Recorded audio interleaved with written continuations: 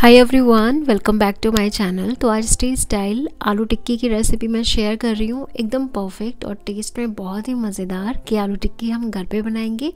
तो चलिए शुरू करते हैं इस रेसिपी को।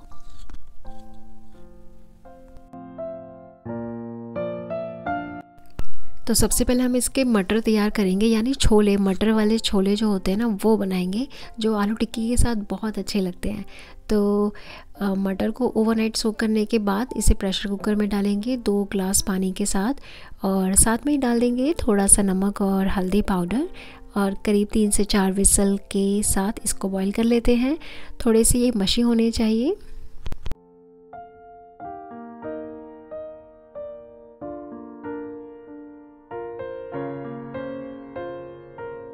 तो तीन विसल में देखिए बहुत अच्छे से बॉईल हो चुका है। तो बस इतना ही इसी तरह से हमें इसे बॉईल करना है। थोड़े से जैसे बताया मशी होने चाहिए। और अभी चलिए इसको बनाना शुरू करते हैं। कढ़ाई में डालेंगे एक चम्मच के करीब ऑयल और इसमें डाल देंगे थोड़ी सी हींग। उसके बाद इसमें डाल देंगे एक टमाटर बारीक चॉप किया हुआ और इसे अच्छे से पका लेते हैं। जब टमाटर थोड़े से पक जाएँ, तभी इसमें डाल देंगे हम अदरक लहसुन का पेस्ट। इसमें प्याज डालने की ज़रूरत नहीं है, थोड़ा चटपटा ही इसे बनाना है तो मैंने अदरक लहसुन का पेस्ट इसमें डाला है। इसे अच्छे से पकाने के बाद इसमें कुछ मसाले जाएँगे, वही रेगुलर मसाले, धनिया पाउडर, जीरा पाउडर, गरम मसाला, हल्दी और नमक। नमक बॉईल करते वक्त हमने डाला था तो थोड़ा सा नमक उसके हिसाब से एडजस्ट करेंगे और इसे अच्छे से मिक्स कर लेते हैं। अब इसमें हम डाल देंगे बॉईल करे हुए हमारे मटर और मिक्स कर लेंगे। अगर आपको लगता है ये बहुत थिक हो गया, थोड़ा सा आप इसमें गुनगुना पानी इसमें डाल दीजिए। बहुत ज़्यादा इसे ग्रेवी वाला नहीं बनाना है। कुछ इस तरह से, जैसे आप कंसिस्टेंसी यहाँ पे देख रहे हैं ना, इसी तरीके से तैयार करना है। तो ये मटर हमारी बनकर तैयार हो चुकी है। अब चलते हैं नेक्स्ट प्रोसेस की तरफ़। तो आलू टिक्की को सर्व करने के लिए हमें मीठी दही बनानी है। तो ये मैंने लिया है थिक कर्ड घर पे ही मैंने इसे जमाया था और करीब दो बड़ा चम्मच है। इसमें हम डाल देंगे थोड़ी सी चीनी। मीठा दही होता है ना, वो हमें बनाना है। पिसी हुई चीनी का भी इस्तेमाल कर सकते हैं। आप रेगुलर शुगर जो होती है, उसका भी इस्तेमाल कर सकते हैं। अच्छे से मिक्स कर लेते हैं। चीनी जब इसमें मिक्स हो जाए, इसमें थोड़ा सा पानी डाल के इसकी कंसिस्टेंसी को एडजस्ट करेंगे। तो थोड़ा गाढ़ा दही ही बनाना है। तो थोड़ा सा पानी डाल दिया है मैंने, करीब दो चम्मच के जितना, और इसे मिक्स कर लेते हैं। तो ये कुछ इस तरह से ये दही हमारा तैयार होना चाहिए।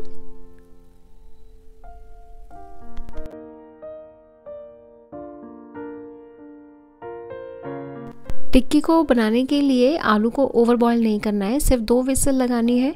उसके बाद छील कर हम इसे फ्रिज में रख देंगे करीब दो से तीन घंटे के लिए। फिर मैंने इसको ग्रेट कर लिया, यानी कद्दूकस कर लिया है।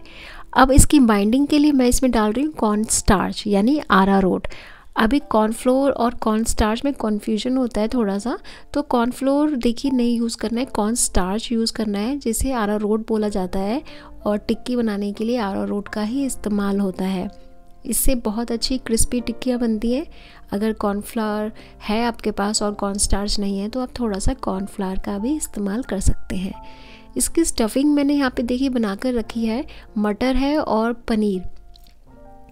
तो मटर को अच्छे से फ्राई कर लिया है रेगुलर मसालों के साथ और थोड़ा सा उसको मैश कर दिया है। ठंडा होने पर इसमें थोड़ा मैश पनीर मैंने ऐड कर दिया है। आप चने की दाल की भी स्टफिंग बना सकते हैं। अगर आपको इस स्टफिंग की डिटेल वीडियो चाहिए तो आप मुझे कमेंट करिए। इसका एक शॉर्ट वीडियो मैं आपके साथ ज़रूर शेयर करूँगी। तो आप चलिए टिक्कियाँ बनाना शुरू करते हैं।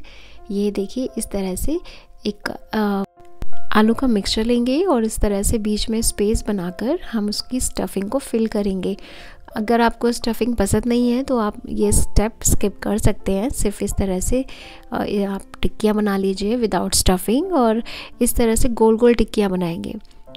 तो इसको अभी फ्लैट नहीं करेंगे, क्योंकि जब हम इसको सेकेंगे, तब हम सेकते वक्त इसको क्रिस्पी करके फ्लैट करेंगे। तो इस तरह से हम सारी टिक्कियाँ बनाकर रेडी कर लेते हैं विद स्टफिंग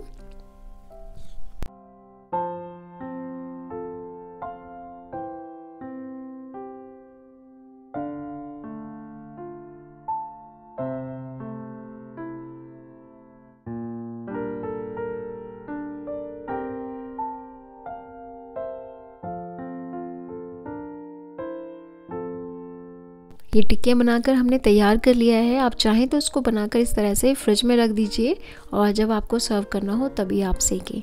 तवे पे डालेंगे ऑयल और इसे थोड़ा सा गर्म होने देते हैं और फिर लो टू मीडियम फ्लेम पे हम एक एक करके टिक्कियों को सेक लेंगे।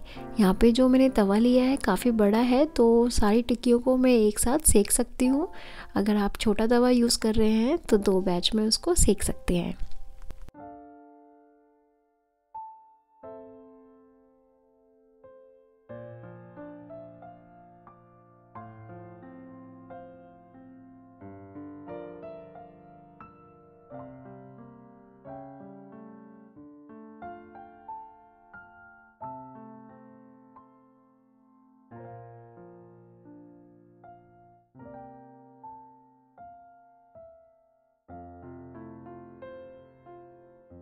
तो गैस की फ्लेम को एकदम लो रखा है और जब थोड़े से एक तरफ़ से सिक जाएँ तो हम इसको एक एक करके पलट देंगे।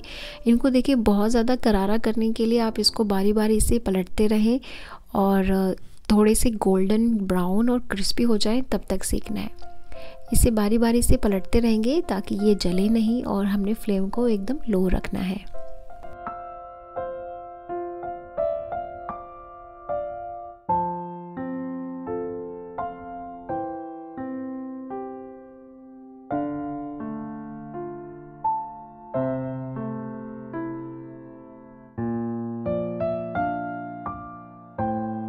तो आप देख सकते हैं पे बहुत ही अच्छा कलर आ चुका है, गोल्डन और काफ़ी क्रिस्पी भी हो गए हैं ये।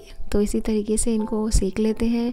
इस तरह से हमें इनको टर्न करना है ताकि हर तरफ़ से क्रिस्पी हो जाए और थोड़ा सा ना स्पैचुला को इस तरह से देखिए, प्रेस करते रहेंगे। प्रेस करने से ये अंदर से भी सीखेंगी और क्रिस्पी होंगी।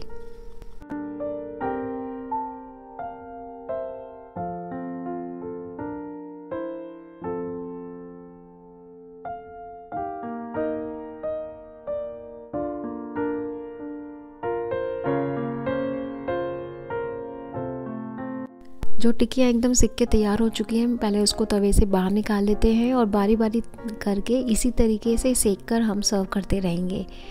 तो गरम गरम आलू की टिक्कियाँ ही अच्छी लगती हैं।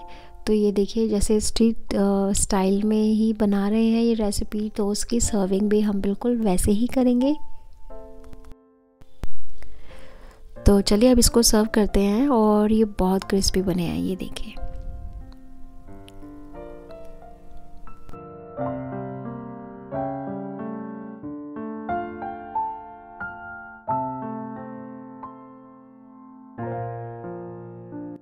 तो सबसे पहले हम इसके ऊपर डालेंगे मटर वाले छोले।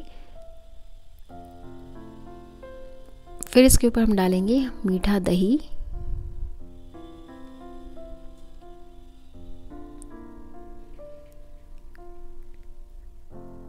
अब इसके ऊपर हम डालेंगे इमली की चटनी, खट्टी मीठी। इसकी रेसिपी मैंने लास्ट वीडियो में शेयर किया है और इसका लिंक मैं डिस्क्रिप्शन बॉक्स में आपको मेंशन कर दूँगी तो आप वहाँ से ये खट्टी मीठी इमली की चटनी की रेसिपी को चेक कर सकते हैं।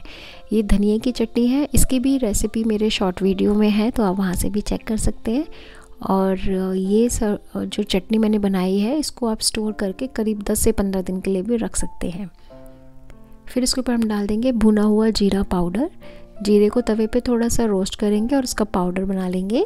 फिर हम डालेंगे काला नमक, सफ़ेद नमक नॉर्मल नमक जो होता है, लाल मिर्च पाउडर थोड़ा सा चाट मसाला।